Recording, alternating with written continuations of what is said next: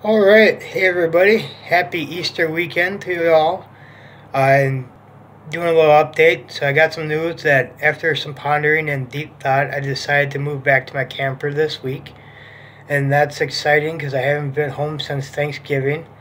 Um, I'll be seeing the U of M on Tuesday, and hopefully no wind surgery will be from there. But being at my camper, I'll be able to heal up better and won't be going up and down the stairs that are here at the group home and then hopefully I'll get back to my life. So it's not going to be easy leaving here. I made some good friends, uh, good good people here, um, but it's for the best. I got to move on and keep on going with this uh, mission that I'm on. So I hope everybody's doing well out there, wearing your masks.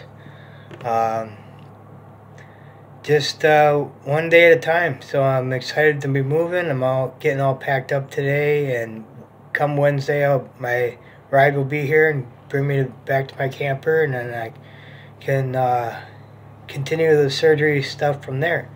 So hope everybody's having a great Easter weekend, and you're staying safe out there, and enjoying the nice weather. It's it's nice out up here in Two Harbors and when I move back to Hinckley is where my camper is. It'll be even nicer. It's two hours south of here.